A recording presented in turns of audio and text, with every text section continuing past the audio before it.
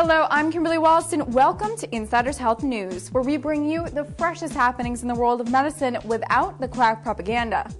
Today, we'll be talking about a new pill that seems to stop AIDS from being spread through heterosexual sex.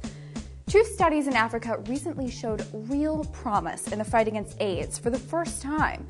Truvada, the pill designed to treat HIV and also dramatically reduce the risk of infection among heterosexual couples, is being used in Kenya, Uganda, and Botswana and has lowered infection rates by an average of 62% when compared with a placebo.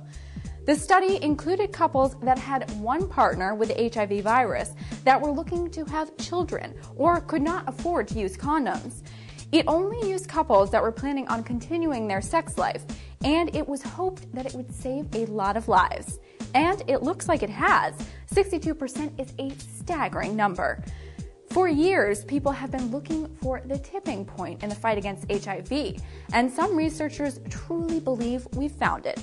In fact, Michael Sidibé, head of the UN's program on HIV/AIDS, said as much. But a larger study will run until late 2012, and the placebo will be discarded because the early signs of efficacy were so strong. In another sign of progress, people are also excited about the Gilead drug that combined tenofovir and emtricitabine with wildly successful results. More importantly, it's been proven to be safe and has serious real life potential. So, if the next round of tests are equally successful, we could be close to living in a world with two thirds less HIV infections. And that would be the biggest success of all. That's it for this edition of Insiders Health News. I'm your host, Kimberly Walston, and remember, it's your health. We're just helping you think outside the box.